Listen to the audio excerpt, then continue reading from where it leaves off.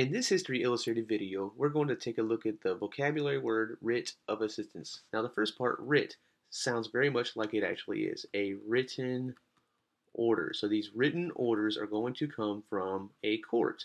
So there's a judge somewhere giving permission to someone to do something. So it looks like this, a piece of paper with the signature of the judge at the bottom saying that you can do whatever this paper says to do. Now in a writ of assistance, it is saying that a law officer is going to assist a customs official. So a customs official.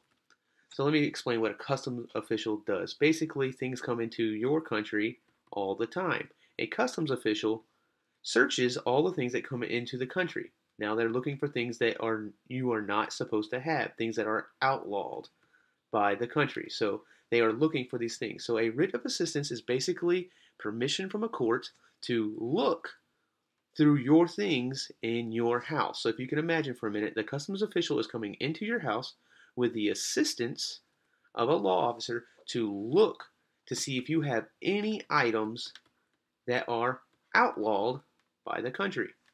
So a writ of assistance is basically like a search warrant.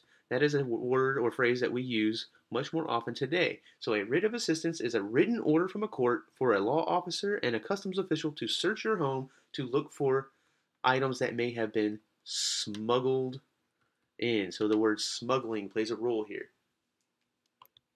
Hey, if you liked the video you just watched, please click this big blue button here and follow us on YouTube.